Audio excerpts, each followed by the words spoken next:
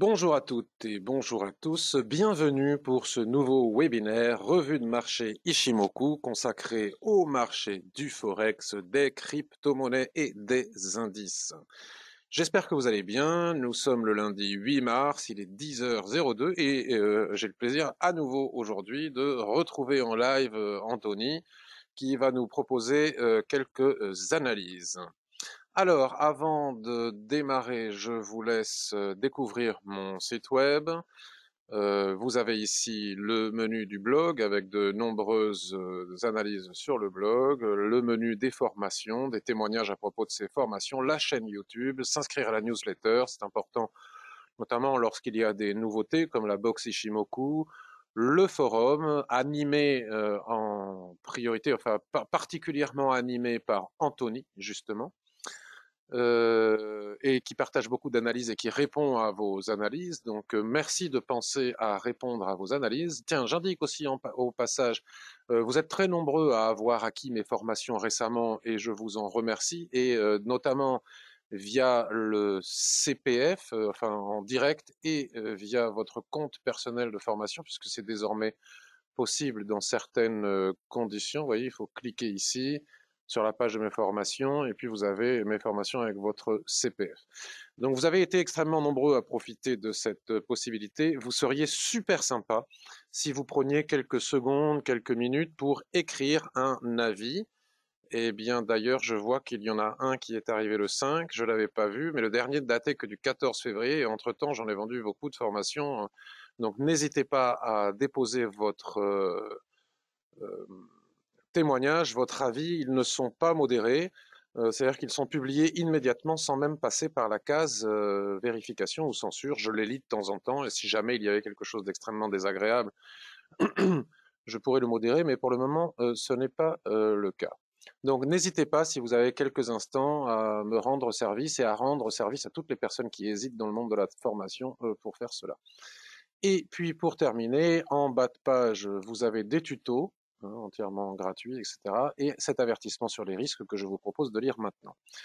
Je vous indique le programme de cette revue de marché. Donc, je vais commencer par les indices. Ensuite, je vais passer la main à Anthony qui va nous proposer, peut-être il y en a d'autres euh, entre-temps, mais la dernière fois que l'on a communiqué ensemble, euh, il va nous proposer une analyse sur le GBP USD. J'avais pas vu sur Twitter que ça faisait partie des analyses qu'Anthony allait nous proposer. Euro AUD, GBP CAD et peut-être d'autres. Euh, j'en profite si vous souhaitez retrouver euh, Anthony sur Twitter, eh bien vous l'avez ici, c'est cette icône là de, cet avatar avec le chat. C'est a-b-fx ou alors vous cliquez tout simplement. Euh, vous avez l'adresse ici, hein, twitter.com a-bfx, comme ça vous retrouverez Anthony sur son compte Twitter si vous avez des commentaires, des questions, ou tout simplement si vous souhaitez suivre ses excellentes analyses. Et puis bien évidemment, vous le retrouvez sur le forum euh, pseudo Anthony euh, ABFX, pareil. Parfait, donc euh, je vais basculer maintenant sur les graphiques. J'en profite pour dire bonjour à toutes les personnes qui se donnent la peine de le dire, là juste avant de commencer. Bonjour euh, Jérémy, bonjour Christian, bonjour un autre Jérémy. C'est Jérémy, le nouveau trader sur Twitter. Je suis très content de vous retrouver, Anto et toi, pour ce début de semaine. Merci beaucoup. Euh, le son ne fonctionnait pas, mais maintenant c'est réglé. Bonjour Christophe, Alain, Kingsford, Christian, Sabrina, euh, Henri, Léo, André, Stéphane, Valentin, Donat, Donatien, et non pas Donatien, comme je disais des fois, Donatien. Euh, bonjour Pierre, euh, très heureux de pouvoir participer. Ben, je suis très heureux aussi que tu puisses le faire. Alain, Eric, Jamal, Frédéric, Ludovic, Antoine, Jackie, Lola, Béatrice. Christophe, aujourd'hui il y a plusieurs paires très intéressantes. Euro GBP, cassure du range en H1, attente du pullback, range H1 sur Euro GBP, NZD USD qui peut être intéressant pour shorter, attendre un pullback. Ok, on va regarder tout ça. Salut Évrard, Jean-Claude, Pierre, Thomas et toutes les personnes qui arrivent au fur et à mesure. Alors, j'ai dit que je commençais par euh, les indices. Ensuite, je passe la main à Anthony pour euh, quelques analyses sur le euh, Forex. Puis, je terminerai avec les crypto-monnaies. Peut-être je ferai aussi quelques analyses Forex moi-même, certainement d'ailleurs. Alors, une fois n'est pas coutume, on va faire le contraire de ce que je fais habituellement. Je vais commencer par le CAC 40.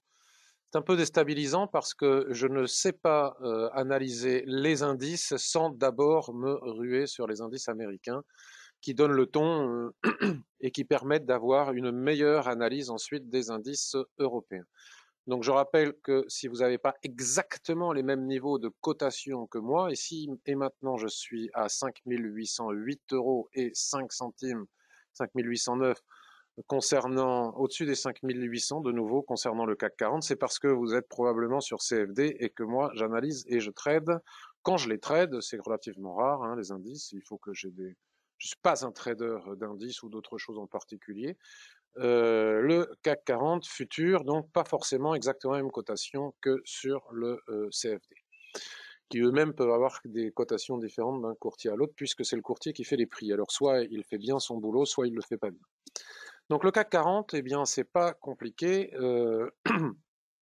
Il navigue, on va dire, entre 5864 et 5700, 5680. Donc au-dessus des 5850, 5864, on pourrait s'attendre à une nouvelle accélération qui pourrait conduire aux 5900, puis euh, aussi aux fameux 6000. Et sous les 5677, sous les 5663, on peut s'attendre à un retracement supplémentaire. Mais euh, de toute manière, pour le moment, on n'en est pas là. Enfin, un retracement supplémentaire, une cassure et un mouvement baissier euh, supplémentaire. Mais pour le moment, on n'en est pas là. Donc, ça ne sert à rien il faudrait que je puisse désactiver ces notifications qui arrivent, ça m'agace. Euh, puisque nous sommes en haut, donc ça sert à rien de faire de la spéculation sur ce qui pourrait se passer en cas de cassure des 5650. Et euh, en attendant, euh, nous avons donc ce, niveau de support et ce niveau de résistance. Et en attendant, il y a des niveaux intermédiaires qui sont faciles à tracer hein, sur le daily. Il suffit de tracer le niveau de clôture des prix qui correspond ici à la Tenkan-sen. Ici, nous avons aussi un autre niveau à 5717, puis un niveau à 5680, en tenant compte à chaque fois des, euh, ah prix ronds, donc 5700, 5800, etc. Donc là, on est en train de travailler les 5800. Donc bon, pas évident, hein, jamais très évident à trader le CAC 40 parce que finalement, des mouvements qui ne vont pas bien vite. Si on passe sur un graphique H1, on bascule directement du H1 du daily sur lequel on était au H1.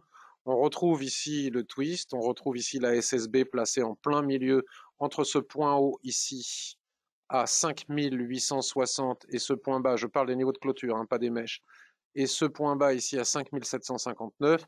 Et là, on est un petit peu au milieu de nulle part à l'intérieur de ce range, donc bon, euh, pas grand chose à faire si ce n'est observer. Je ne sais pas trader des niveaux comme ça qui se trouvent au milieu de nulle part. Donc j'aurais tendance à attendre que les prix reviennent chercher ici les plus hauts aux alentours de 5860, voir s'ils ne dessinent pas des chandeliers de retournement pour refaire une rotation à l'équilibre, soit une rotation complète, ou à contrario, s'ils redescendent ici au niveau des 5757 pour des achats. Là, là par contre, vous voyez, entre les niveaux que j'ai tracés sur le daily et le H1, on a un niveau qui est tradable en intraday, mais pour le moment, on en est très loin. Euh, si on veut le trader à plus court terme, euh, bon, on va pas s'embêter avec le CAC 40, autant pour cela aller voir le DAX. Donc si je regarde le DAX, je vais basculer cette fois-ci directement sur un graphique euh, hebdomadaire pour constater que les tracés que j'ai fait déjà dans la semaine, vous savez, j'avais partagé des tracés dans la semaine, en particulier sur Twitter, où j'avais dit que si tel niveau casse, le niveau suivant se trouvait ici, puis le suivant ici. Bon, voilà, on les a, ça s'est parfaitement euh, déroulé tel que je l'avais prévu au niveau des résistances. Après, pour le timing d'entrée en position, euh, les cassures ou les niveaux ont été euh, franchis à des horaires sur lesquels je n'étais pas là pour éventuellement entrer en position. Cela dit, les niveaux sont clairs, nets et précis. Hein, on ne peut pas se tromper. On ne peut pas avoir de niveaux différents à mon avis. On a l'extrémité des mèches ici des doji à 14 190, hein, toujours sur les futurs. Puis on a de nouveau les niveaux de mèche ici à 14 110 et en extension à 14 080. Forcément, on est obligé de tenir compte du niveau des 14 000, hein, que je n'ai pas tracé ici, mais on est obligé de le faire. Puis en dessous, les 13 866, puis la Tenkan-sen ici que je n'ai pas tracé, je vais le faire. Je vais d'ailleurs tracer aussi le niveau des 14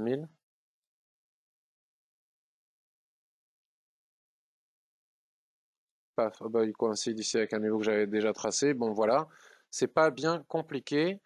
Et euh, pareil que pour le CAC 40, ben, il y a euh, une sorte de, de boîte ici entre le niveau le plus haut à 14 090, on va dire 14 100, puis en extension 14 184, le haut des mèches, et puis le niveau le plus bas ici à 13 340, on est tout à fait en haut. Et comme vous pouvez le constater en journalier, on continue depuis plusieurs jours à dessiner des chandeliers de retournement, qu'on pourrait aussi appeler une configuration en haute vague, en haute vague. Euh, que voulez-vous que je vous dise? Trader ces niveaux euh, à moyen terme, ou en tout cas en swing trading, n'est pas possible. Hein. Tant qu'on a des chandeliers de retournement sous les niveaux des 14 100, on ne peut pas envisager de monter plus haut. À chaque fois que les acheteurs tentent de le faire, ils sont rejetés par les vendeurs. Néanmoins, malgré les chandeliers de retournement ici qui ne sont pas de bon augure, on reste quand même relativement haut. Donc on pourrait tout à fait vendre. Je pourrais tout à fait comprendre que l'on vende ces niveaux-là. Cela dit, euh, ce n'est pas très prudent parce que les indices sont quand même faits pour monter plutôt que de baisser, même s'il y a des mouvements de baisse forcément. on est confronté à un phénomène de spéculatif autour de l'inflation. Euh, suite au plan de relance aux États-Unis, mais euh, qui est très très discutable. Euh, à la fois, on a les banques centrales, la Banque centrale européenne cette semaine, on a le chiffre d'inflation justement aux États-Unis cette semaine, donc c'est un peu prudent de rentrer à la vente swing en ayant cette épée de Damoclès au-dessus de la tête constituée par les statistiques et les banques centrales, comme je viens de le dire. Donc, euh, selon moi, il convient d'oublier des entrées en swing trading pour les raisons que je viens d'évoquer, à la fois à la vente et à, de toute façon à l'achat. On ne pourrait pas, on pourrait le faire à la vente, vu la configuration sous résistance avec chandelier de retournement. Mais il suffit qu'il y ait de bonnes nouvelles sur le, au niveau des, taux obligataires. Enfin, tout dépend pour qui la nouvelle. Ou euh, que les banques centrales rassurent, ou que finalement le chiffre de l'inflation aux États-Unis ne soit pas aussi élevé qu'attendu, pour que ça reparte euh, à la hausse.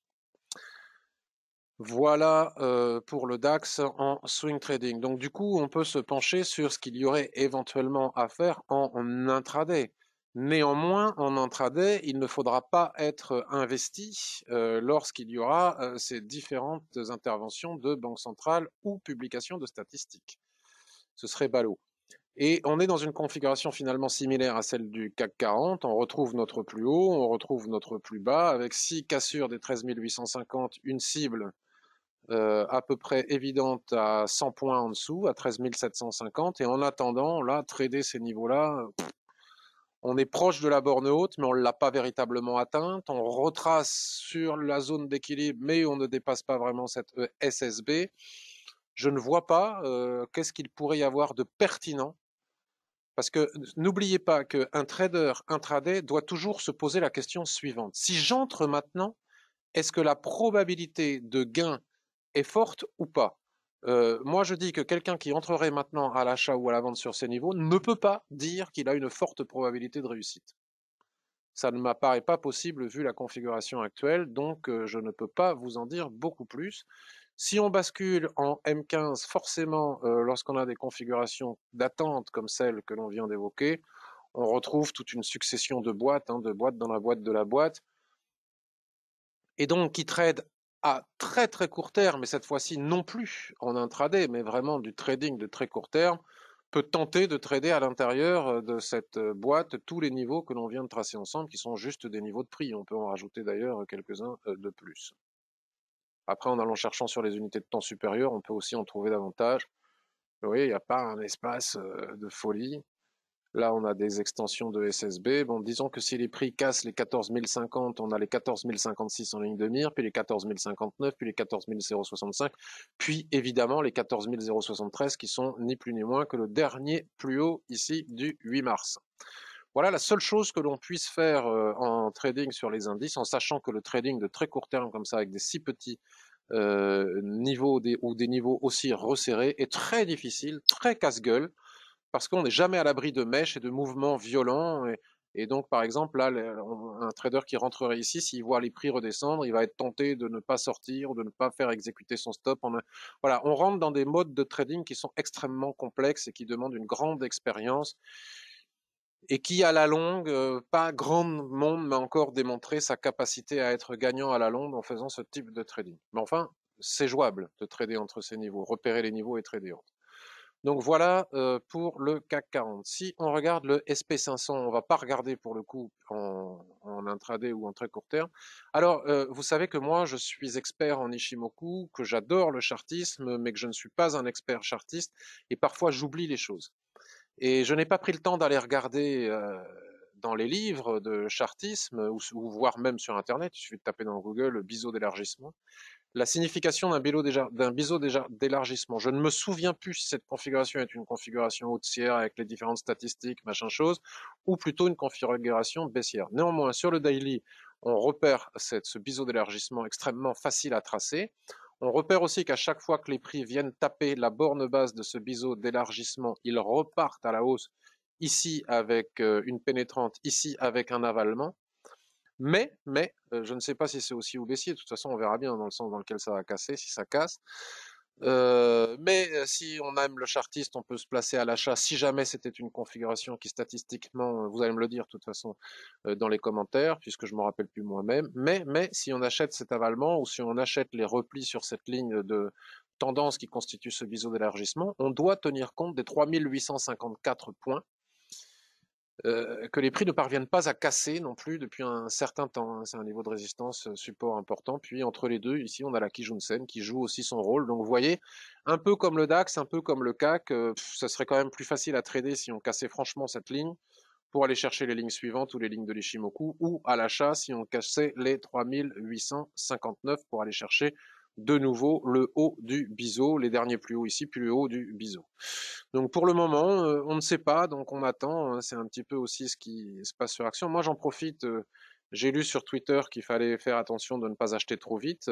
C'est pas faux, mais en même temps, il faut faire attention de savoir acheter aussi quand il y a des replis. Donc j'ai fait quelques renforts sur, Action, mais c'est pour de l'investissement de long terme, c'est pas pour du swing trading, donc il n'y a pas euh, à se préoccuper en hebdomadaire, le SP500, il est à regarder parce que c'est lui qui va donner le ton. Hein. Bon, il y a le Nasdaq, il y a le Dow Jones, etc. Mais enfin, c'est quand même le SP500 qui donne le ton. Euh, globalement, hein, au niveau du momentum, en tout cas pas forcément au niveau du pourcentage de hausse ou de baisse, si ce fameux biseau d'élargissement que j'évoque ici, sur lequel ici nous avons eu un marteau, un avalement, etc., à nouveau un marteau, etc., venait à casser, il m'apparaît comme euh, évident que la première cible serait ici la Kijun-sen. Donc c'est ça qu'il faut regarder. Serait ici la Kijun-sen qui est entrelacée avec cette, ligne de tendance. qui finalement euh, serait relativement sain, comme je le dis toutes les semaines, parce que nous avons ici, au niveau des 3386, le point haut avant toute la baisse Covid. Hein. Non seulement on a retracé toute la baisse Covid, d'ailleurs il faudrait que je prenne cette ligne et que je la mette ici, comme ça ce serait pas mal. Non seulement on a retracé toute la baisse euh, Covid, mais en plus on l'a cassé. Et depuis, on ne fait que monter de façon totalement abusive et exagérée. Donc il serait quand même relativement sain d'avoir un repli sur la, sur la Kijun-sen, ici, non loin de ce point haut du Covid. Et là, là, ce niveau-là, c'est un niveau que je surveille, parce que c'est un niveau qui, euh, sur lequel se dessinaient des chandeliers euh, de retournement, par exemple en daily, je pourrais tout à fait intervenir à l'achat pour rentrer une position sur le SP500 futur et tenter de la tenir, avec un stop en dessous bien évidemment, tenter de la tenir le plus longtemps possible jusqu'à ce que la Kijun-sen recasse dans l'autre sens. C'est des choses qui parfois peuvent très, tout à fait fonctionner euh, en mouvement tendanciel euh, avec le SP500. Donc on retient ce biseau d'élargissement, et on retient qu'il faut bien attendre quand même la fin de semaine, hein, la clôture. C'est ça qui n'est pas facile pour aller chercher à la vente la Kijun-sen. C'est qu'à chaque fois qu'il y a eu mèche, qu'il y a eu tentative de casser cette ligne-là du biseau, les prix ont finalement les, acheteurs ont finalement appuyé sur le champignon pour repartir à la hausse.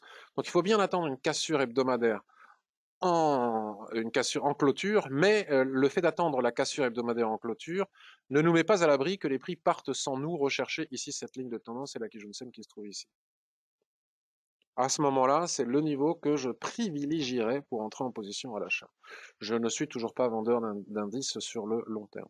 Voilà pour le SP500. Et donc forcément, si le SP500 casse ici euh, en clôture, euh,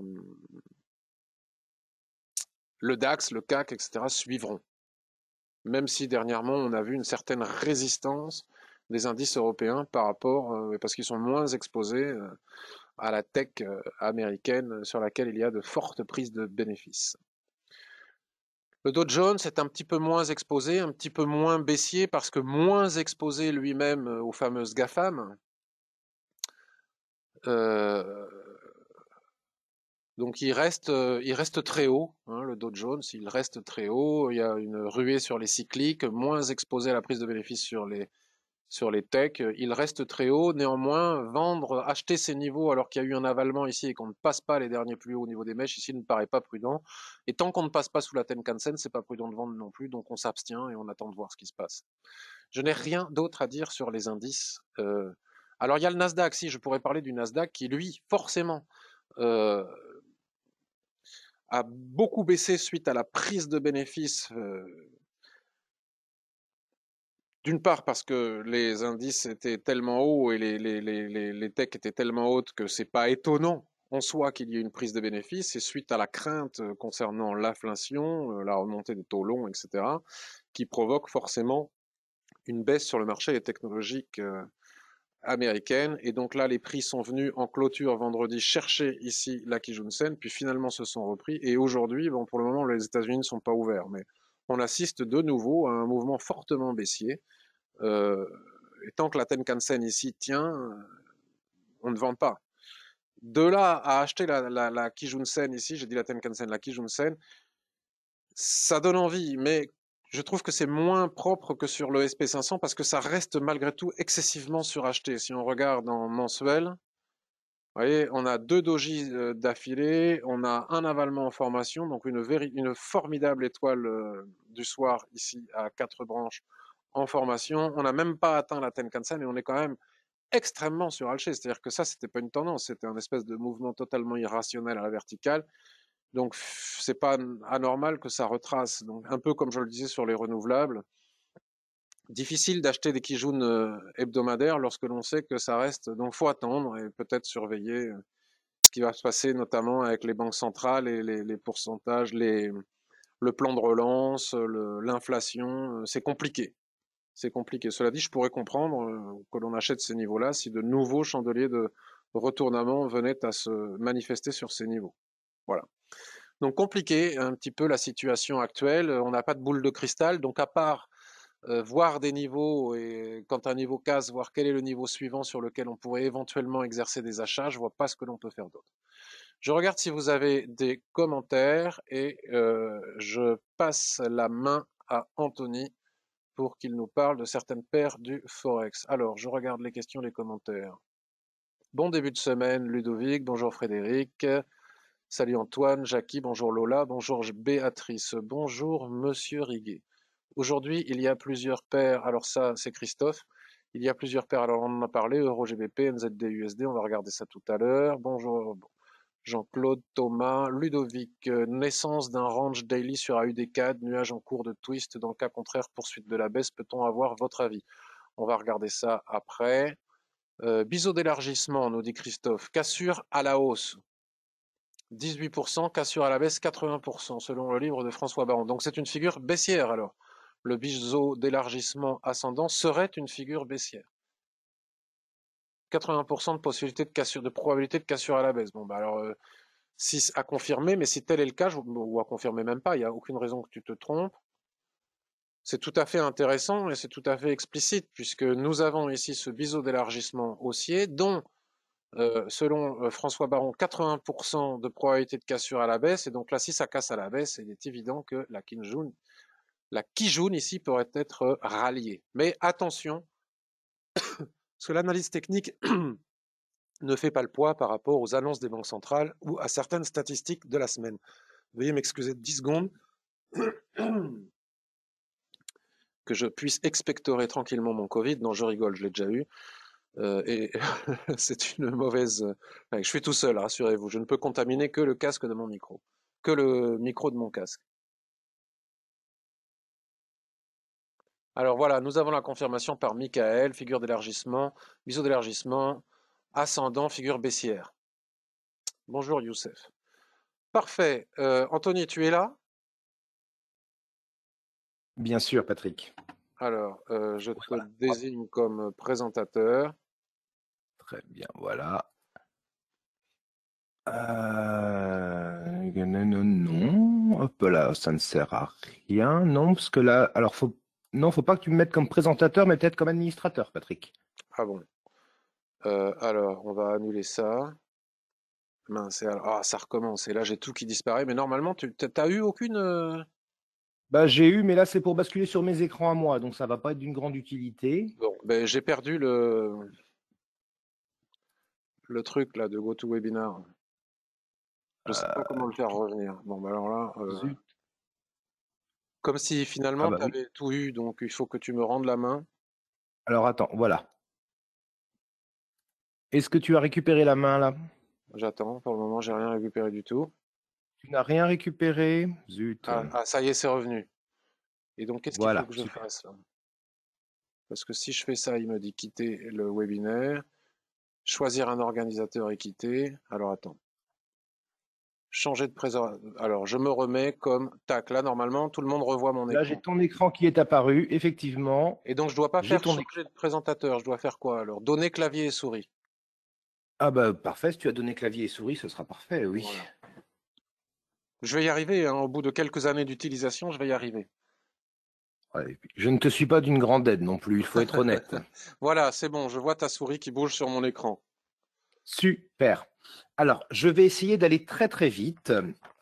Euh, simplement parce que là, je vais reprendre quelques analyses Forex. Il y a énormément de choses sur le Forex que j'ai pu voir ce matin, donc on ne pourra pas tout traiter évidemment.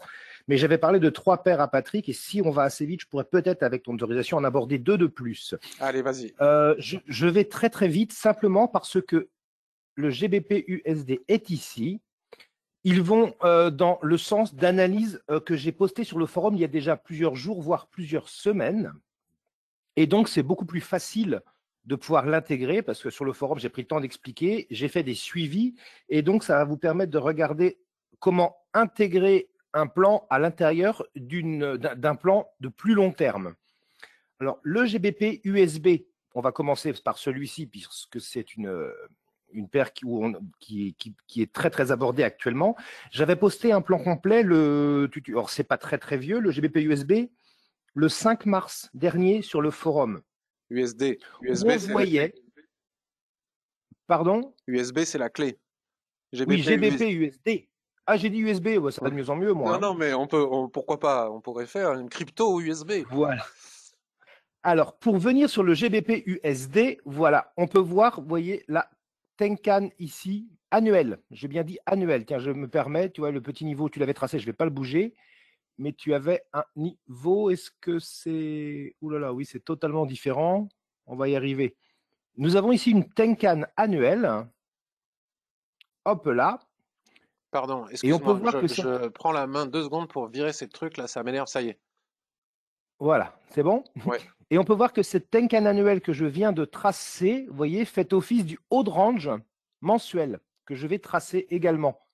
Mais ça, vous le retrouvez en, détail dans le forum. Donc, je vais aller très très vite. Hein. J'ai essayé plus ou moins d'aller très, très forum pour lire euh, l'analyse détaillée. C'était le 5 mars que j'ai posté celle-ci. Donc, vous voyez, on est en haut d'un range mensuel. Alors, évidemment, pas très équilibré parce qu'il y a une mèche excessive ici qui pourrait, qui vient totalement déséquilibrer. Mais ce qu'on voit, c'est qu'on est sous un niveau de prix qui se trouve être la Tenkan annuelle. On est en surachat.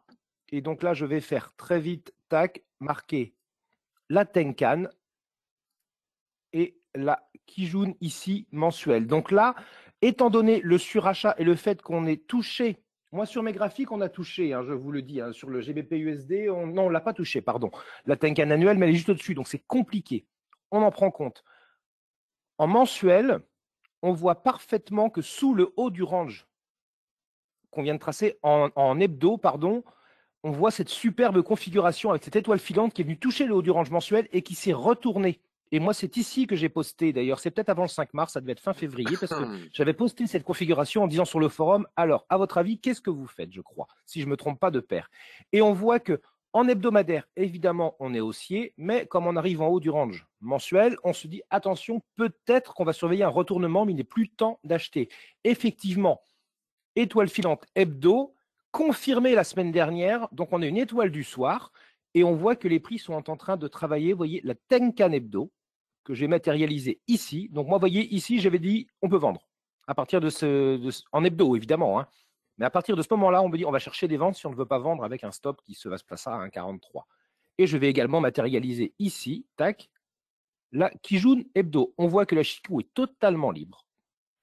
En daily, c'est super parce que le premier, ceux qui m'ont suivi en, en, comment dire, en, en, comment dire, sur le, sur le forum ont vu qu'on avait touché ce premier support qui nous a beaucoup fait pleurer. Vous voyez, là, Kijun fait support, les prix sont remontés, pas totalement jusqu'à la Tenkan, et ça y est, vendredi, vendredi, je ne dis pas de bêtises, vendredi 5 mars, la Kijun a cassé.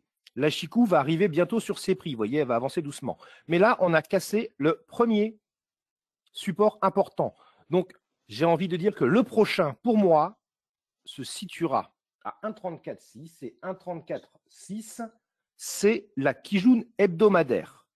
Et comme on voit ici qu'on avait un niveau des prix, voyez, qui avait été travaillé, travaillé, on peut supposer d'ici là un range daily, on verra bien ce que ça donnera, parce qu'on aura plusieurs niveaux. Mais moi, dans ma vision, actuellement, je privilégierais les baisses. Vous voyez, en swing, je parle bien du swing, dû à cette analyse. En H4, voilà, pour aller faire dans le détail, nous avions un range avec une borne basse qui a été cassée. Vous voyez, la borne basse était ici, le range a été cassé. On est donc bien baissier. Alors, l'Akijun est un peu éloigné sans avoir un excès non plus. On a la Tenkan qui est au contact des prix. On voit que ça hésite. N'oublions pas que je vais chercher un plan pour rentrer à la vente. Hein. pour l'instant, je dirais que. si on n'est pas dedans, comment on peut y aller? Justement, on va regarder là, parce qu'en H4, on n'est pas remonté jusqu'à la Kijun. Idéalement, si les prix remontent jusqu'à la Kijun H4, avec un chandelier, ce serait le top. Mais justement, regardons en détail. Le H1, qu'est-ce qu'il nous dit? Eh bien, il nous dit également, vous voyez, l'orange a été cassé. Et là, vous voyez, on a une superbe étoile filante sous Kijun, sous Tenkan H1 dans une tendance baissière qui pourrait nous dire, eh ben, écoute, euh, ça, c'est un beau chantier de retournement. Je vois que tu as les stochastiques, moi je ne m'en occupe pas dans mes plans en Forex. Hein. Mais euh, là, on a un premier, hop là, je vais essayer d'agrandir l'écran. Voilà, en H1, on a déjà une, une, première bougie qui semble nous dire chandelier de retournement dans une tendance baissière dans le sens du mouvement des unités de temps supérieures au contact de Kijun et Tenkan, donc en H1. La Chikou est pour le moment est libre. Là, on a un signal qui nous dit on pourrait vendre avec un stop. Pourquoi pas donc au-dessus du dernier plus haut qui pourrait se situer autour des 1,38,7 par exemple. Alors par exemple, si on se retourne en, weekly, est-ce que tu veux bien retourner en weekly? Deux secondes. Oui, et après je vais encore revenir encore dans le détail. Ouais. Hop là, en weekly tu m'as dit voilà. ce qui, m'embête sur le fait d'entrer en H1 maintenant, c'est qu'on on commence à être euh, à avoir trois semaines consécutives de baisse et j'ai peur que si on entre maintenant, on subisse un retracement euh, qui aille chercher le stop que tu montres en H1. C'est toujours ça qui. Ouais, là, ce serait une entrée de, c'est quasiment une entrée d'intraday en H1, mais euh, si on veut faire du swing, c'est ça. il faut, il faudrait placer le stop au-dessus de la Kijun. Euh, voilà, je disais au-dessus de la Kijun H4 pour être bien. Si on veut être un peu plus sûr, attendre d'y revenir. On peut attendre déjà. On attend un retour éventuellement sous Kijun H4.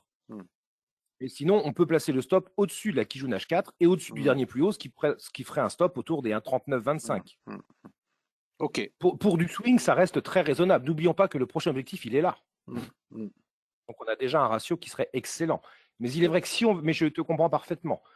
Mais en H1, voilà, pour revenir un petit peu dans le détail, on, était, on a cassé ce range. Donc là, on commence à avoir des entrées d'intraday. Et pourquoi pas aller chercher des niveaux euh, intermédiaires sur des extensions. Et regardez, même en M15, vous voyez cette petite, euh, ce petit mouvement là qu'on a eu en H1 de respiration, de, eh ben, simplement se traduira par un range M15. Et donc en M15, on est en range. Et j'ai envie de dire que si on veut être vraiment sûr, enfin aussi sûr qu'on peut l'être, eh bien on va simplement attendre. Un retour sur le haut du range. La cassure de ce range M15. Moi je dirais qu'on va attendre la cassure de ah, ce range M15 euh, s'il casse par le haut, eh bien, ça pourrait inaugurer un pullback, pourquoi pas jusqu'à la Kijun H4, mais qui va être juste au-dessus. Mais s'il casse par le bas, ça validerait, je pense, un retour baissier et une tendance baissière, une autant sur le, sur le H4, sur le H1, sur le M15, et sous résistance daily. Ça, c'est un plan que j'avais posté. Et ouais, je voulais vous montrer d'unité de temps en unité de temps comment on peut essayer de le suivre et chercher des entrées dans le sens d'un grand mouvement. Alors, on peut le vendre en haut aussi, ce range. On n'est pas obligé Et également. en bas. Exactement, on peut le vendre en haut, hein, parce que là, on a quand même, rappelons-nous, c'est la Tenkan Hebdo, si je ne me mm, trompe pas, mm, mm. donc, euh, qui correspond à la Kijun, euh, à la Kijun Daily. Donc on est vraiment dessous. Donc exactement, on peut le vendre en haut. Moi, sur cette paire, je ne chercherai que des ventes. Soit sur configuration en haut de range, pourquoi pas M15, en cassure de range qui validerait une tendance baissière dans le sens des tendances euh, M1 et H4. En H1, on peut avoir le signal, comme je disais, avec cette toupie ici sous la Kijun, mais on voit bien qu'elle a du mal à se valider quand même. C'est pour ça que j'aimerais bien une validation supplémentaire, compte tenu, comme tu viens de le dire, pardon, mmh, mmh. Euh, je dirais de la baisse quand même assez violente qui a attendu longtemps là. Hein. Parfait, Anthony. Alors écoute, c'est superbe, c'est parfaitement bien expliqué, c'est clair, j'adore, c'est passionnant. Par contre, euh, on n'a pas fait court. On a mis pratiquement 10 minutes bah, pour faire l'analyse sur GVP USD. Donc 10 minutes. Ouais, non, là, je vais être plus détaillé, mais j'y vais aller beaucoup plus vite. Euro AUD, j'avais regardé. Tic, tic, tic. Euro AUD, il est là. Analyse du 19 janvier. Analyse du 19 janvier, j'avais fait. Donc, je vous invite encore une fois à aller sur le forum. Hein. Le 19 euh, janvier, oui, j'avais indiqué que moi, je voyais ce niveau, et on avait déjà abordé peut-être, parce que je voyais cette SSB mensuelle en objectif final. Hop là, pardon. Ça, c'était mon objectif final pour un plan euh, short. Voilà. En hebdo, on voyait qu'on avait tracé des niveaux de prix, vous voyez, qui font parfaitement. Donc là, ça devenait un peu plus compliqué. Et on a une grosse survente. Donc un peu compliqué également, là, de rentrer sur celle-ci. Je vais juste marquer voilà, la Kijun et la Tenkan. Donc on voit que là, on a quand même eu un niveau de prix avec un avalement haussier. Donc on pourrait s'attendre à un pullback éventuellement sous la Kijun avant de rebondir à 1,51,2. Là, je suis sur l'euro AUD, hein, c'est bien cela. Hein. C'est ça. Euh, et en daily, on voyait bien cette hésitation. C'est pour ça que j'aime bien détailler donc plusieurs unités de temps parce qu'en daily, vous voyez, on voit que c'est travaillé. On a eu donc le fameux avalement haussier hebdo qui s'est fait en deux jours, en fait, vous voyez, qui a avalé euh, une semaine complète. Et derrière, on a la Kijun qui fait son travail quand même. Et là, les prix sont en train d'osciller entre la Kijun et la Tenkan qui sont plates. Donc, on peut déterminer un range dans une unité de temps inférieure. Moi, j'ai envie de dire que là, cette, euh, vous voyez, je ne vais pas aller beaucoup plus loin. Je vous laisserai regarder le forum, regarder de vous-même et comparer. Mais moi, là, ici, je vois une Tenkan plate, une Kijun. C'est pour moi un range qu'on va retrouver sur une unité de temps inférieure. Et la question de ce range nous inaugurera soit bah, la respiration vers la Kijun, soit éventuellement le retour vers la SSB en prenant compte des deux supports qui ont déjà été pris en contact ici sur l'euro AUD moins complet, mais vous voyez, simple, mais ça reste une SSB mensuelle ici, hein, 5124, qui pour moi est quand même un support extrêmement attractif, mais là, ça va devenir beaucoup plus compliqué. Donc, soyons prudents et attendons la cassure de ce range. Très court. Parfait. GBP4. GBP4, si tu l'as, voilà. GBP4, c'était une euh, analyse du 25 février. Le 25 février, hop là, je vais en même temps sur mon graphique pour ne pas me tromper. Le GBP CAD était, voilà, c'est ça, le GBP CAD. Si on regarde en mensuel, hop là, nous avons un range et on peut considérer, voilà, que les prix se dirigent vers le haut, mais on est en surachat. Et on voit que les, prix ont buté sur ce petit plat euh, SSB d'ailleurs, justement, vous voyez, qui correspond à ce niveau. on va le matérialiser même si je ne marque pas trop ceux qui sont en extension, mais on voit bien que ce niveau a parfaitement fait son travail. Donc, moi, ce que je vois ici, c'est que les prix sont en surachat, sont possiblement en train de respirer, même si à long terme, on pourrait s'attendre à ce qu'ils montent. Mais la hausse ne sera valide qu'en cassure de ce niveau, vous voyez. Plat SSB qui date de 2014, aligné à ce plat SSA. Donc, j'ai ma vision. On voit que la Chikou, on est dans un range, donc les niveaux sont moins importants, mais on voit qu'elle va arriver sur des supports. Hein.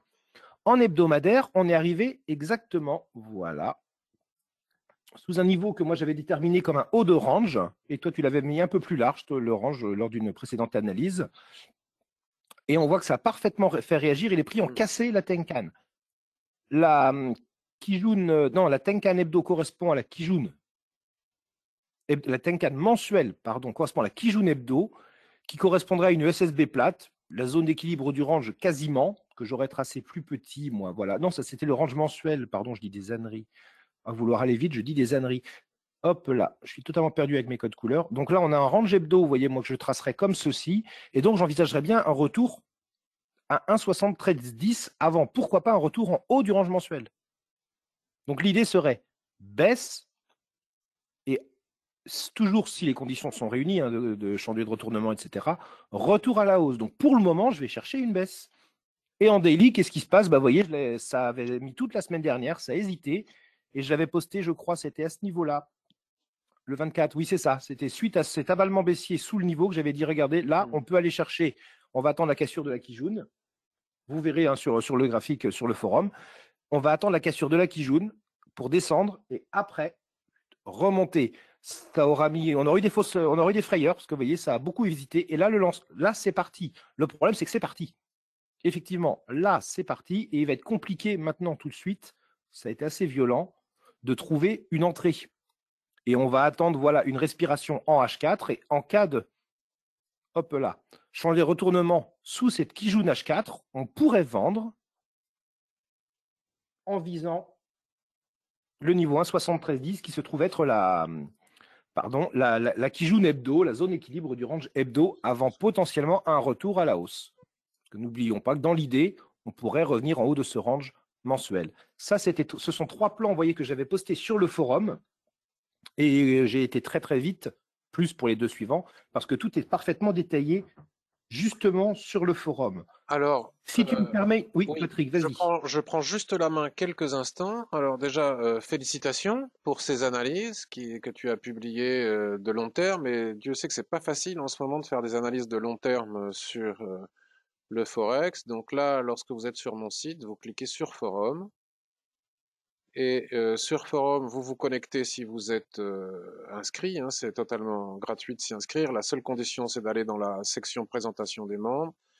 Vous avez ici voir les sujets actifs. Donc en général, euh, Anthony, que l'on retrouve ici aussi, comme sur Twitter, comme je vous l'ai montré tout à l'heure. Hein, je vous remontre ici Anthony ABFX, ABFX. Vous le retrouvez sous le pseudo ABFX ici. Euh, et vous voyez déjà, là, Anthony nous a proposé une, une, une analyse Euro-GBP en swing. Et... Pareil que j'avais proposé depuis quelques temps l'Euro-GBP depuis le 25 février et le plan se déroule super bien, même si on a attendu une semaine en zone d'équilibre de range H4 qui a été cassé. Ça y est, enfin, ça reprend la baisse comme je l'attendais. Et si vous cliquez par exemple ici sur GBP Swing, puisque c'était la première analyse que nous a proposé Anthony, vous allez sur la dernière page euh, ici. Et là, vous avez. 25 février, il faudrait. Merci. Merci euh, ABFX, donc euh, nous dit Citysticiter. Donc si vous revenez sur les pages précédentes et que vous remontez au fur et à mesure, vous allez pouvoir suivre toute l'analyse euh, et les différentes analyses. Alors la mienne et celle des autres membres également, bien évidemment. Voilà, les réponses, parce que l'intérêt, et c'est ça qui nous fait aussi progresser sur ce forum, c'est que les gens répondent. Je viens de vous lire et mon plan est le même avec ici Choco, vous voyez, qui nous propose différentes visions. Donc les membres se répondent et Anthony anime tout ça avec talent. Euh, donc, si vous voulez progresser, allez répondre aux copains parce que c'est très bien de lire les plans des copains, mais c'est aussi vachement bien et des copines de leur répondre, ne serait-ce qu'un par un bonjour et merci, parce que parfois on n'a pas de, de connaissances suffisantes en trading ou en analyse technique ou en Ishimoku pour aller au-delà, mais juste dire bonjour et merci est tout à fait suffisant et permet de faire vivre le euh, forum. Donc voilà où vous pouvez retrouver les différentes analyses d'Anthony, sinon vous cliquez sur son pseudo et toutes ces analyses vont apparaître. Donc l'on revient au graphique et tu voulais faire une autre analyse. Oui, alors je vais aller très très vite parce que justement, c'est le forum. Ce matin, un membre a posté une analyse sur l'euro JPY et je lui ai répondu. Mais il a surtout mis en avant quelque chose euh, qui me semble extrêmement intéressant. Il a fait un plan long et un plan short, donc parfait. Sauf que je me suis permis de lui répondre que en mensuel, voilà, tac, en mensuel, effectivement, on est dans un grand range, mais que pour le moment, on arrive quand même sur une zone, hop là, la SSB, ou peut-être qu'il serait même plus haut le, le, le, range, là je l'ai un petit peu aligné parce qu'il y aura peut-être un autre niveau intermédiaire. Hein. Peu importe. Euh, ouais, pour le moment, qu'on a un niveau de prix, un deuxième niveau de prix, de toute façon, ça, ce sera un niveau à travailler. Je lui ai répondu que pour le moment, avoir un plan à l'achat tant qu'on n'avait pas cassé cette SSB me semblait relativement risqué. Mmh C'est parce que déjà, on est en surachat. Alors là, je fais comme d'habitude pendant que je parle hop là, les Kijun, mais entre-temps, vous voyez, euh, Kijun on aura pas mal de niveaux. Donc je lui dis, moi, acheter tant qu'on est au contact de cette mmh. SSB me paraît risqué. Par contre, au contraire, je serais plutôt à chercher des ventes. Et effectivement, comme on peut le voir, le niveau, vous voyez, qui a été travaillé parfaitement, on est en surachat. Et là, vous voyez, nous avions un range d'une ancienne analyse que tu avais dû faire, Patrick. Et c'était parfait d'ailleurs. Et là, je vais faire la même chose. Vous voyez, je vais marquer Là, bah oui, parce que tu vois, il était coincé pile poil entre euh, Tenkan, tu vois, ça correspond parfaitement au niveau qu'on a là. On a donc les niveaux, vous voyez, je fais comme d'habitude. Je ne m'occupe pas de la Chikou parce qu'elle est libre, tout simplement. Et vous le savez, contrairement à Patrick, je prête un petit peu moins d'importance, même si je regarde quand même, des niveaux de support de résistance en extension. Moi, je regarde principalement les niveaux de résistance directes, mais après, ça, c'est à chacun. Il ne faut pas les négliger pour autant. Hein. Je les trace également sur mes graphiques, mais là, je vais très, très vite. on a ces deux niveaux qu'il faudra bien surveiller au niveau du range que tu avais tracé d'ailleurs. Et là, ce qu'on voit, c'est qu'après avoir touché cette ESSB, la semaine dernière, on a eu une petite toupie, une petite bougie d'hésitation. Bon, là, on est lundi matin. Le fait qu'elle soit rouge ne veut rien dire, mais on voit quand même que on a des, on a eu, euh, des plus hauts, de moins en moins hauts. Voilà. Donc moi, j'envisagerais éventuellement, compte tenu du surachat mensuel et de la résistance mensuelle, un retour baissier. Et là, vous voyez, qu'est-ce qu'on est en train de voir? Eh bien, on a eu justement superbe avalement baissier. La Tenkan a bien fait son job et là, elle est en train d'être retestée à nouveau.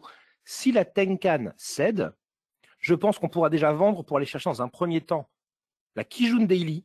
On pourra, vendre, on pourra chercher une vente. La Kijun Daily qui correspond à la Tenkan Hebdo. Et vous voyez, il y a d'autres niveaux de support, dont le, fameux range de batterie qui correspondait parfaitement, au niveau qu'on voit mais je voyais parfaitement, moi, de, chercher des ventes. Et, en H4 sur l'euro JPY, qu'est-ce que ça nous donnait? On est au milieu d'un range en H4. Donc, ce n'est pas forcément idéal. Hop là, mais on a. Bon, je ne la retrace pas parce que je, vais la remonter pour pas mettre 12 000 lignes sur le même graphique. En H4, vous voyez, on est pile au niveau d'un range et on peut remarquer que cette fameuse Kijun Daily est juste en dessous de la borne du range. Donc là, tant qu'on a ce niveau ici présent, euh, qui est la Tenkan Daily, qui fait office de zone d'équilibre de ce range H4 quasiment, on ne peut pas faire grand-chose. Mais on sait très bien qu'une fois qu'elle aura cassé, on pourra déjà venir chercher la Kijun Daily, qui équivaut à la Tenkan Hebdo. Et ceux qui voudront prendre, c'est très risqué, vont remarquer que ce range H1 est pile poil dans la zone d'équilibre du range H4. et on voit d'ailleurs parfaitement la réaction en cours. Hein. Et donc la cassure de ce range H4 pourrait revenir à la cassure de la zone d'équilibre et nous conduire, dans un premier temps, en bas du range H4, c'est-à-dire vers 128,25. Mais je vois principalement, moi, 128, la Kijun Daily. Voilà. Est-ce qu'on va voir ce, petit range euh, Oui, superbe. Donc, ouais, ce n'est pas la zone d'équilibre, c'est le, le, bah, la partie haute de ce range H4. Mais on voit que s'il cède, ça reviendra à, à passer en dessous de la zone d'équilibre et on a nos objectifs. Voilà, je voulais parce que j'ai trouvé que c'était assez intéressant ce matin. Et merci, j'ai oublié le nom de ce membre, mais merci à lui d'avoir mis l'accent sur, euh, sur cette paire qui me semble euh, très propice à un plan euh, dans la semaine. Mais écoute, c'est parfait, Anthony. Je te remercie beaucoup et je profite de ton analyse pour tracer des niveaux supplémentaires. Exactement. Pour des personnes qui voudraient faire du trading entre ces différents niveaux, on a ici d'autres niveaux. Vous voyez, alors, c'est très bien d'attendre la cassure de ce niveau, mais comme tu l'expliquais toi-même sur Euro-Yen, euh, la SSB mensuelle, tenons compte aussi de la SSB H4 ici. Et si on revient sur H1, voilà, euh, on a donc non seulement le niveau que tu indiques ici est un superbe niveau pour aller rejoindre ton objectif final, mais on peut aussi attendre par prudence de casser les 128,63 Hein, on n'est pas à quelques points près. 128,63, on voit que c'est un niveau de support résistant. C'est la SSB H4. La cassure des 128,63 engendrerait alors un premier objectif à 128,44 en intraday et à 128,27 en un petit peu plus euh, moyen terme. Donc, bah, écoute, c'est parfait. Et il est vrai que là, par contre, la question pourrait se poser en cas de confirmation du marteau en formation H1. Est-ce qu'on achète? Moi, j'ai envie de dire que ça dépend de chacun. Moi, compte tenu des grandes unités de temps, je dirais, moi, je cherche des ventes. Après, si le signal est clair sur un niveau de support, on peut acheter, mais il faudrait, tu me diras Patrick ce que tu en penses, un objectif extrêmement proche. Oui, c'est-à-dire que là, si on achète ce doji en clôture, il est 10h52, admettons à 11h, il faut mettre un stop sous le doji, pas plus loin, euh, et aller chercher les 129,20, pas plus. quoi. En sécurisant dès le contact avec la Tenkan, quitte à sortir à zéro, mais je pense que c'est pour moi, c'est plus risqué d'acheter que de vendre compte tenu des unités de temps mm. supérieures. Mais après, voilà, c'est une vision à moi. Je ne dis plus rien. Eh bien, écoute, euh, merci beaucoup pour cette intervention et pour ces excellentes analyses que j'ai beaucoup aimées. J'ai particulièrement bien apprécié euh, l'analyse de GBP USD qui était très complète et très Ishimoku, on va dire. Donc, merci Anthony. Ben, ça fait plaisir de te retrouver, ça fait plaisir de retrouver tes, tes analyses. et là, maintenant, je vais aller voir si nous avons des questions ou des commentaires. Bonjour Évrard, bonjour Jean-Claude. Ludovic qui avait un commentaire sur AUDCAD a dû partir, donc on va... Heureusement que ce n'est pas un, webinaire sur l'informatique, euh, nous dit Pierre, euh, euh, par rapport à notre incapacité à se passer la souris, à changer d'écran, etc. Petite question. C'est vrai. toi et moi, il serait oui. c'est sûr. Petite question, nous dit Youssef. Est-ce que vous utilisez les indices de devises pour déterminer les meilleures paires de devises? Alors, je ne sais même pas ce que c'est que les indices de devises. Ah si Si, si, les indices de devises, c'est les paniers, les paniers de, devises. Non, je les utilise pas, non. Moi, en tout cas, si c'est de ça dont il s'agit, je ne les utilise pas. Sur GBP USD, on a une épaule tête-épaule aussi, qui a cassé sa ligne de coup. Merci, Michael. Attention, annonce de la BOE, donc de la Banque euh, centrale euh, de Grande-Bretagne, à 11 heures. Donc très très attention. Merci pour cette excellente euh, information, Évrard. Évidemment qu'il ne faut jamais rien faire sans être allé regarder préalablement le calendrier économique. Alors, tu as des remerciements, Anthony, pour tes différentes analyses de, de différentes personnes. Alors attention, Anthony, parce que quand tu bouges ta souris, ça la bouge encore sur mon graphique, sur mes. Oui, j'essayais juste de remettre le son pour, bah, pour les ah. remercier à mon tour. En sécurisant le contact de la euh, AUD, USD, range H4 cassé par le bas. Prochain objectif, la SSB en daily. On va aller voir. Euh, pas d'analyse XA USD, donc euh, Jérémy, le gold. Si, si, on peut faire des analyses du gold. C'est-à-dire que moi, j'aime tellement pas le gold.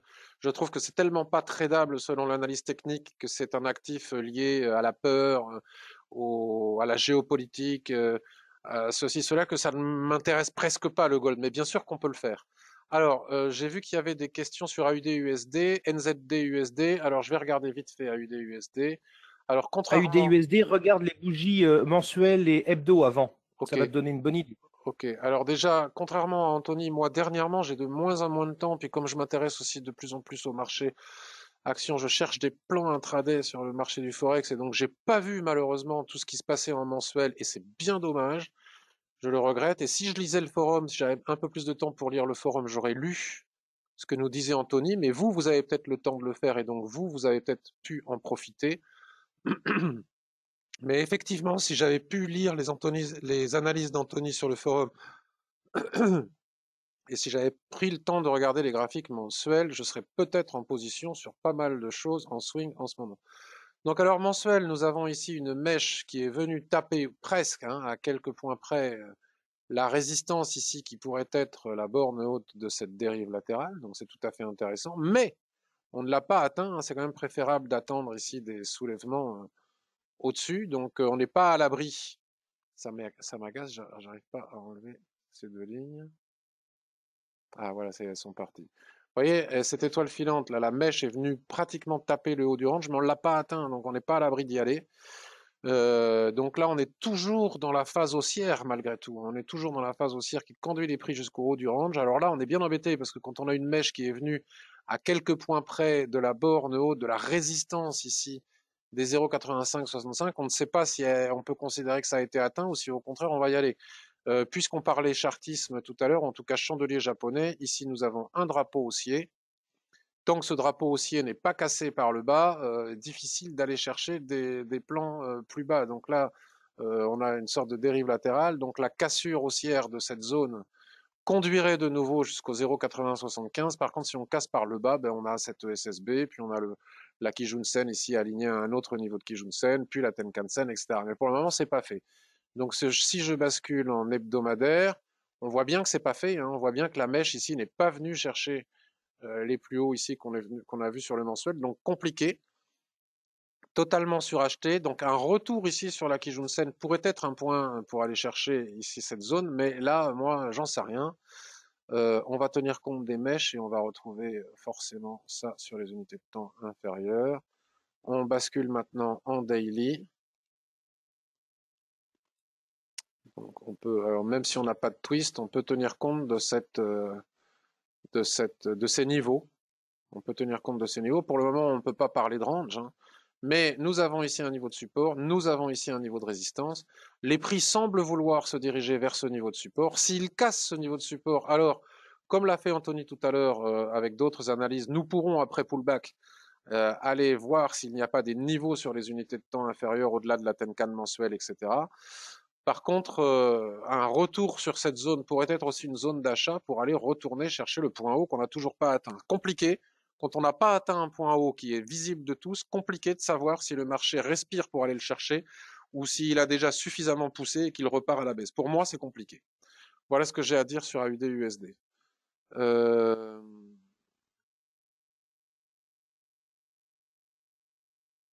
Alors, je répondrai à ta question après euh, Kingsford. Donc, AUD-USD sur ces niveaux, euh, Youssef, moi, je ne le vois pas là tout de suite, maintenant. Là, ici en haut, après cet avalement, pourquoi pas euh, Vendredi, proche de la borne haute du range mensuel, pourquoi pas Mais là, tout de suite, tu vois, toi, tu te demandes s'il n'y a pas des ventes à faire. Là, tout de suite, alors qu'on a un niveau de support juste en dessous, juste en dessous, ça me paraît soit trop tard, soit trop tôt. NZD-USD. NZD-USD, ben, on est dans une configuration similaire. Donc là, on ne va pas vendre euh, une configuration totalement survendue euh, sur un niveau de support euh, évident qui saute aux yeux. Donc là, on est sur quelle unité de temps? On est sur daily. Je parle pour de l'immédiateté. Hein. C'est-à-dire que ici, là, nous sommes sur un support. D'ailleurs, les prix ne se sont pas trompés. Hein. Regardez ce marteau ici qui pour le moment ne donne rien. Donc, tant qu'on ne casse pas euh, le support qui est à 0,71, on ne peut pas envisager de vendre, surtout en survente. Donc, il faut casser ce support pour aller chercher le support suivant, qui lui se trouve 100 points en dessous, 90 points en dessous, à 0,7014, ce qui est un joli plan pour de l'intraday. Maintenant, euh, regardons euh, ce que nous dit le graphique hebdomadaire. Donc, comme disait Anthony, on ne parle pas de la Chico, elle est libre de tout obstacle. Un peu comme l'AUD USD, ça y ressemble beaucoup. Hein. En mensuel, on n'a pas besoin d'aller voir. L'AUD USD, le NZD USD est venu frôler ici son, support, euh, sa résistance, pardon, euh, qu'on retrouve d'ailleurs ici, qui a provoqué un fort mouvement de baisse. D'ailleurs, le, dollar, c'est surtout le dollar qui remonte avec cette histoire de taux, hein. c'est-à-dire que le dollar se renchérit. Euh, on est passé sous le niveau de SSB ici qui se trouve à 0,7162. On est actuellement sur le niveau de Kijun ici qui se trouve matérialisé ici. Votre connexion audio est interrompue, elle est rétablie. Bon, mais si elle est rétablie, tout va bien. Donc, tant qu'on ne casse pas les 0,71, on ne peut pas venir chercher la Kijun et le support qui est juste au-dessus à 0,70. Et la Kijun à 0,70. Il y a 100 points à prendre. Donc, si on bascule maintenant sur du H4, on le voit bien ce niveau de support. On le voit bien. Donc sous les 0,7089, j'ai envie de dire, la SSB qui se trouve ici. Sous les 0,7085, on a les 0,7015 en ligne de mire, mais euh, il faudra attendre de casser et c'est totalement survendu, donc c'est compliqué. C'est trop tard ou trop tôt. on ne vend pas quand c'est survendu, même quand on a un objectif évident. Donc là, je vais basculer maintenant sur du H1 pour essayer de trouver des raisons de vendre. Euh, vous voyez, on y va, on y va. On est sur ces niveaux de support. Si ça casse, il est évident que les 0,7015 sont en ligne de mire. Mais le timing d'entrée en position est compliqué. Euh, toute la difficulté de l'intraday. Il faut laisser casser, attendre un repli sur les lignes de l'Ishimoku qui pour le coup vont redescendre Éventuellement attendre de recasser, seulement à ce moment-là entrer. Sinon, on entre en survente et on s'expose à perdre le trade lors d'un mouvement. Euh, je suis rentré vendredi, Youssef. Ben, c'est formidable si tu es rentré vendredi. Alors tu arrives sur un niveau de support. Là, je ne sais pas ce que tu veux faire. Vendredi, c'était ici. C'est ça? Semaine. La semaine, oui, vendredi, forcément. Tu es rentré. Alors attention, parce que tu es rentré aussi. Je ne sais pas à quel niveau tu es rentré. Si tu es ici, rentré ici, tu es en survente. Tu t'exposes ici à un repli. Mais si ça casse, tu atteindras probablement le niveau de Kijun qui est juste en dessous. Désolé, je suis rentré mardi à 0,7786, tu nous dis, sur AUD USD. Bon, mais ça, AUD USD, 0,7787. Et on est à 0,7644, c'est bien. 0,77, bravo, félicitations. Là, maintenant, on est sur support, mais la probabilité d'aller chercher les 0,7536 est forte, mais il faut s'attendre à un repli au moins euh, sur les 0,7780 à nouveau. C'est possible. Bonne fête à toutes les femmes traders, dit Evrard. C'est vrai, bonne fête à toutes les femmes, c'est la journée internationale de la femme aujourd'hui. Donc bonne fête à toutes les femmes. Euh, qu'est-ce que l'on a? Alors Kingsford qui me pose une question à laquelle je ne peux pas répondre normalement comme ça c'est pas le propos de ces revues de marché. Euh, je voulais te demander quels actifs me conseilles-tu de trader pour un trader débutant ayant un capital de 1000 euros? Bah, J'ai envie de te dire que si tu es un trader débutant avec un capital de 1000 euros, de préserver ton capital de 1000 euros le plus longtemps possible sans l'utiliser et de trader en démo. Et si tu es gagnant en démo avec un capital de 1000 euros, alors tu pourras passer en réel avec ton capital de 1000 euros. Parce que ça veut dire que tu dois prendre des risques très limités avec ton capital de 1000 euros. Il n'y a pas d'actifs. Euh, alors évidemment, tu ne peux pas trader les, futurs, c'est trop cher. Euh, mais à partir du moment où tu es chez un courtier qui te permet de rentrer à 10 centimes du point, tu peux trader tout type d'actifs, euh, éviter les GVP, NZD, tout ce qui est ultra volatile, le pétrole, le gold, etc., à éviter selon moi. Trader les paires de Forex les plus euh, classiques, les plus majeures, comme on appelle AUD USD, Euro USD, NZD USD, USD CAD, USD Yen, etc. Et puis surtout, de t'assurer d'abord d'être capable de préserver un capital de 1000 euros, parce que le problème quand on a 1000 euros, c'est que si on respecte le money management, proportionnellement au capital, on gagne peanuts, peanuts, donc du coup, on a envie de prendre des risques qui vont au-delà de ce que nous permet le money management, et c'est là où ça devient compliqué. Mais si tu préserves, tu rentres par exemple à 10 centimes du point dès que tu as et que tu ne risques pas plus de 1% de ton capital, c'est-à-dire 100 euros, euh, non, même pas 100 euros, 10 euros, c'est ça? Enfin, je sais plus ce que je dis. Tu ne voilà, faut que tu acceptes de gagner 20 euros par trade. C'est souvent ce qui est un petit peu compliqué. Je vais regarder USD CHF et USD Yen et puis l'euro USD et on finit par les cryptos. USD CHF, je voulais absolument qu'on le regarde parce que là, c'est quand même des mouvements qui sont relativement rares en Forex. On en avait eu un ici le 16 mars. La semaine dernière, je vous disais, c'est super parce que c'était tellement bas ou tellement haut que l'on va assister à une situation très confortable qui est une situation de trading range. Mais ça ne s'est pas produit parce que ce qui était très baissier est reparti très violemment à la hausse, sans passer par la case dérive latérale, comme ça arrive la plupart du temps. Alors USD CHF est en folie, c'est-à-dire qu'il est parti de 0,99, 0,8917 à 0,93.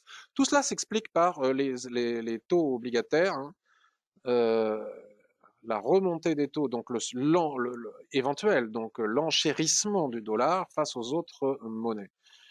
Mais euh, les prix ici sur l'USD CHF arrivent sur un une grosse résistance à 0,9335, hein, qui est que, l'on ne peut pas rater, qui est aussi une SSB. Donc regardons en mensuel, parce qu'on a vu qu'en mensuel, il y avait souvent, ben voilà, c'est aussi une SSB mensuelle à l'intérieur d'une tendance qui était excessivement baissière. Euh, donc là, la probabilité d'aller chercher la Kijun-sen si on casse ces niveaux, puis surtout les niveaux des 0,94, est importante, mais c'est tellement suracheté que c'est difficile d'y rentrer et d'y aller. En attendant, peut-être qu'on pourrait envisager une petite respiration sur les niveaux actuels. Pour le moment, ça ne se matérialise pas, étant donné le surachat, et trader contre le mouvement tendanciel, ne serait-ce que pour, par exemple, retourner chercher euh, les 0,93 en intraday, voire euh, plus bas, mais enfin, c'est compliqué. Est-ce que la résistance que l'on a matérialisée en mensuel et en hebdomadaire va permettre au prix de réagir ici pour qu'on revienne chercher au moins À 0,9241 la Kijun-sen H4, je ne sais pas. Mais en tout cas, si chandelier de retournement explicite en clôture apparaît sur cette ligne, c'est une possibilité.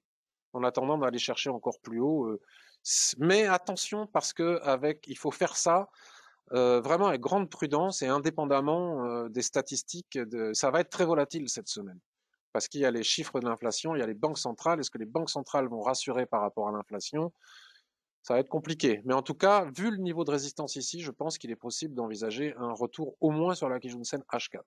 Je vais surveiller cette possibilité contre la tendance. USD Yen, eh bien là, on voit aussi à nouveau la montée euh, du dollar, hein, la poussée du dollar. C'est très impressionnant. Si on va sur un graphique mensuel, les prix, on n'y voit rien avec mes flèches ici. On va, vous voyez, j'avais déjà, les prix sont en train de, tenter de franchir cette ligne de tendance baissière. La Chikuspan est bloquée ici par les prix et euh, le tout sous ce niveau de SSB actuel qui, euh, euh, on peut constater, est aussi un niveau de support résistance des prix, une zone de polarité. Donc on a là, encore une fois, un niveau de résistance important à la fois pour la Chikuspan, à la fois pour les prix. Donc, est-ce qu'il ne serait pas possible d'envisager contre le mouvement, mais c'est compliqué de trader contre de tels mouvements, un repli? Eh, c'est la question. Soit on reste en dehors parce que de toute façon c'est trop pour acheter, c'est trop suracheté, on ne peut pas continuer à acheter. Soit sur ces niveaux, regardez déjà là on avait eu des tentatives, mais finalement les prix hésitent, hésitent, hésitent, dessinent des chandeliers de retournement, mais on ne baisse pas.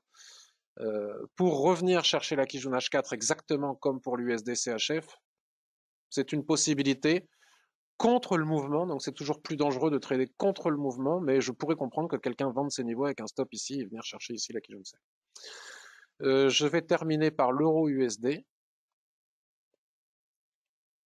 Donc forcément, si l'on voit l'USD CHF euh, accélérer à la hausse, on voit l'euro USD accélérer à la baisse, qui est venu ici casser sa Kijun-sen hebdomadaire et qui se trouve ici et maintenant sur un niveau de support, qui est un niveau de support des prix, hein, pour le moment, même si euh, l'Ishimoku le propose aussi, ce niveau de support, c'est l'extension de SSB qui est ici. Si je regarde en mensuel,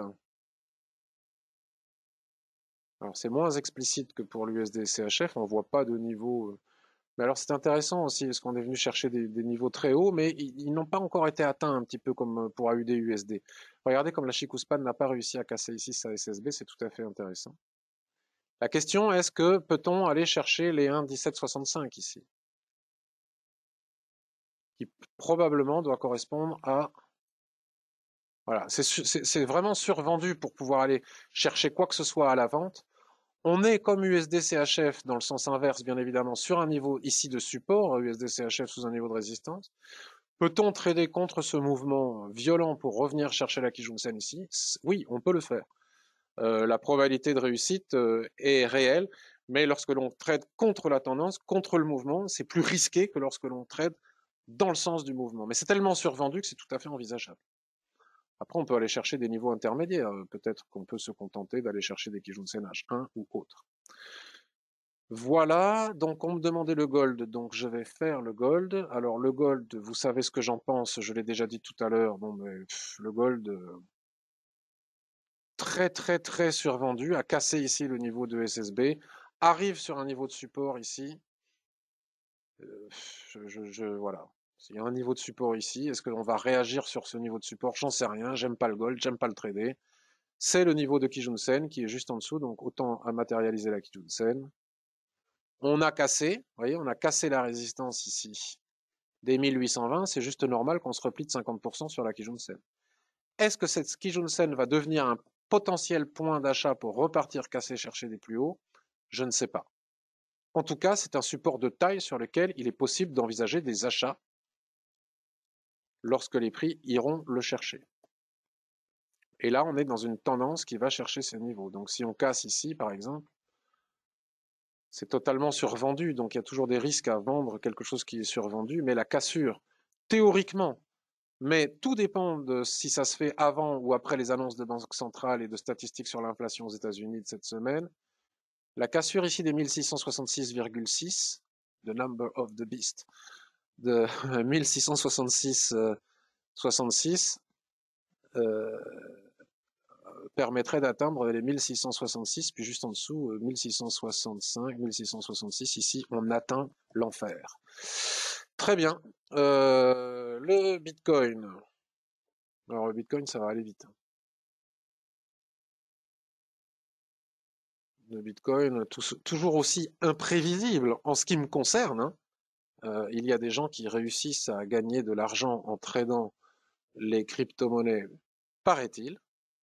Et je veux bien le croire. Moi, je ne sais pas trader des choses aussi volatiles avec de tels écarts entre les niveaux de support et de résistance. Donc voilà, tous les tracés que j'ai tracés les semaines précédentes, euh, bon voilà, ici on a eu un avalement qui a conduit jusqu'à la Tenkan-sen, et depuis, on a une sorte de harami ici qui reprend la résistance des 49 950, 650, pardon. 49 000, le moindre trait fait... Alors attendez, parce que rien que l'épaisseur du trait, il fait 100 euh, dollars, donc 49 euh, 650, hein, c'est écrit là. Est-ce que cette recassure après cet avalement va permettre de revenir chercher les plus hauts ici? Franchement, j'en sais rien. J'en sais rien. Ou est-ce qu'au contraire, l'avalement ici va permettre une fois... Disons que euh, si je devais trader le Bitcoin à court terme, mais encore faut-il pouvoir le faire, parce que c'est tellement violent, les mouvements, faut-il encore pouvoir rentrer dedans? Disons que la cassure des 52 600 engendrerait 57 600, voire davantage, de nouveaux plus hauts historiques. Et ici, si on repasse sous les 49 400, on a de nouveau la Tenkan-sen et sous la Tenkan-sen, le niveau de résistance des 38 900, puis la Kijun-sen. Maintenant, comment trouver le bon timing pour rentrer euh, là-dedans? Ben Là, franchement, je dis euh, bravo à ceux qui savent le faire. Après, on peut aussi tracer les dérives latérales, les ranges qui se mettent en place. Hein, comme je vous l'avais dit, quand il y a des mouvements violents, après, il y a des ranges qui se mettent en place. Si on casse le haut d'un range, on peut chercher la, résistance euh, qui est juste au-dessus. Si on casse le bas d'un range, le support qui est juste en dessous. En attendant, on peut trader le range. Voilà, je ne vois pas ce qu'on peut faire d'autre. Ethereum. J'ai déplacé mon support, mais le revoici. Ben, voyez, euh, regardez les mèches, comment on arrive à trader ces trucs-là. Avalement baissier monstrueux qui vient chercher la Kijun-sen et au-delà, puis ça repart dans l'autre sens franchement, je, n'ai rien à dire là-dessus. C'est juste, euh, pour moi, en tout cas, c'est pas tradable. Je ne sais pas faire. Avec de telles mèches, une telle volatilité, je ne sais pas faire. Ripple.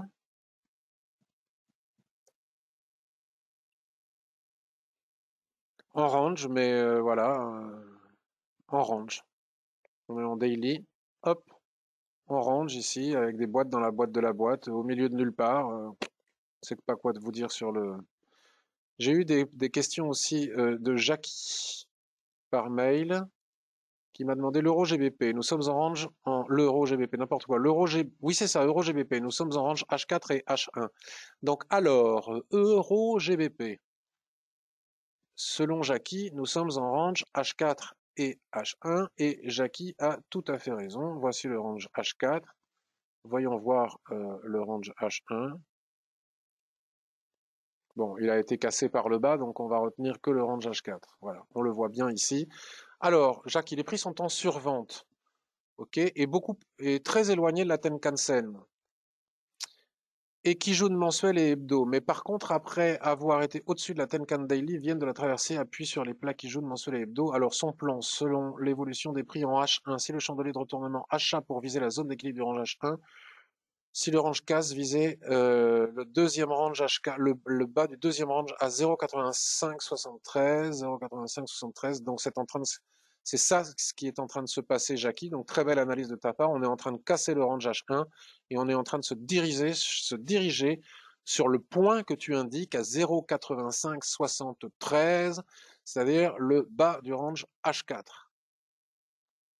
Donc bravo pour EuroGBP. Euh, Jackie, très belle analyse et on est tout à fait en train de se diriger sur cette borne basse de range H4.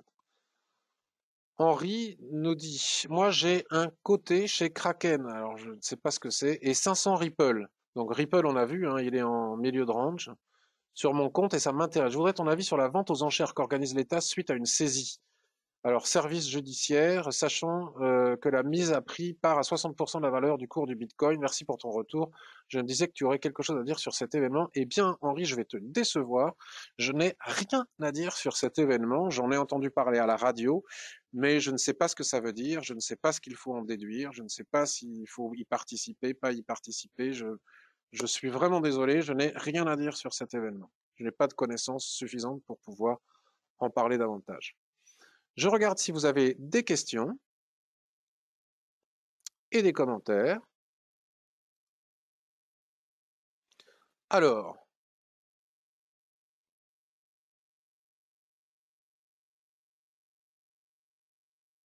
EuroAUD, alors, euh, Anthony nous en a parlé. Range H1, survente mensuelle. Range H1, cassure de la zone d'équilibre, 6 confirmations en clôture. Cassure Kijun H1, objectif haut du range alors Bruno, n'hésite pas à aller regarder, puisque Anthony a fait une, analyse complète euh, de l'euro AUD, donc n'hésite pas à aller la voir et la réentendre. Euh, Marie, les prix sont dans un couloir baissier weekly. Alors je ne sais pas sur quel actif, euh, Marie. Pierre, merci à Anthony et à Patrick sur, sur le gold. Alors on va aller voir. Donc les prix sont dans un couloir baissier weekly sur le gold. Et sinon, nous avons beaucoup de remerciements euh, et de remerciements pour Anthony. Alors, euh,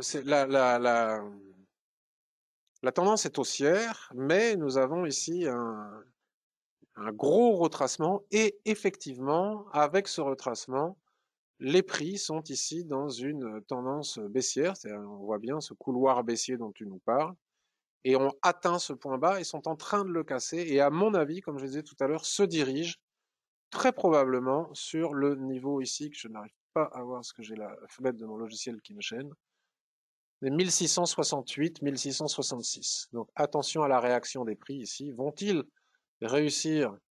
Parce qu'en plus, si je retrace, euh, on va partir du bas, parce qu'il faut le problème des... Voilà. On est pile poil sur ce niveau, donc effectivement sur des niveaux de support importants, qui pourraient euh, renvoyer les prix vers le haut. Voilà, je vous souhaite une excellente euh, journée. Euh, nous avons Christophe, merci pour ton analyse et celle d'Anthony. J'espère être un jour à votre niveau, mais bien sûr que tu peux être à notre niveau, Christophe. C'est accessible à tout le monde. Et c'est relativement facile avec un peu de travail et de patience. Merci encore à toi pour tes analyses et la passion que tu transmets. C'est toujours un plaisir. Merci aussi à Anthony pour tout ce qu'il fait sur le forum Pierre. Merci à tous les deux Sabrina. Merci à vous deux Valentin. Je réalise un truc, Patrick, c'est comme les Daft Punk, que tout, le monde l'écoute, mais on ne l'a jamais vu. Bientôt, il y a un monsieur qui euh, me, demande depuis des mois et des mois et des mois et des mois de faire un interview euh, pépiteur, et euh, donc normalement c'est à visage découvert, donc vous me verrez. Mais peut-être mettrai-je mon casque. Euh, merci Donatien, à Anthony, merci Patrick. Compte Kraken, c'était Henri, un compte Kraken, mais je ne connais pas les comptes Kraken. Désolé vraiment de ma de mon ignorance euh, dans le domaine des crypto-monnaies. Merci Marie aussi, merci à tous, je vous souhaite une excellente semaine, je vous dis à demain 10h30 pour la revue de marché action. N'hésitez pas s'il vous plaît à partager ces analyses et la vidéo YouTube sur vos réseaux sociaux. Salut Anthony. Bonne journée à tous, merci. Bye bye.